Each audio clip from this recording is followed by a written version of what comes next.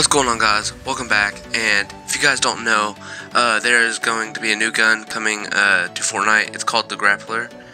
Um, so I'm going to tell you some details about it and what it's used for.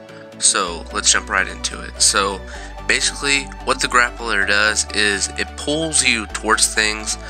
Um, like if you aim at the top of Trump and you shoot it up there it'll just pull you right up to the top so you don't have to build it or anything.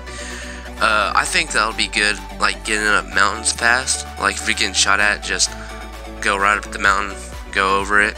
Um, you can get it like, like I said, you can get away faster. So if you're in a building fight, you can just uh, hit something and get away fast. Um, that's basically all it really does. Is it shoots a? It looks like like a plunger and it just latches on and pulls you. So um, I'm not for sure if it takes fall damage, but uh, yeah, I really don't know if it takes fall. It probably does because you know it, it like if you go high and you just don't go over the top like Trump, you'll probably die. Um, but if you guys don't know, season six is coming out soon.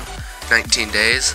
Uh, that's that's soon to me. So if you guys think that's a long time, you guys can think what you want, but you know, I'm thinking what I want.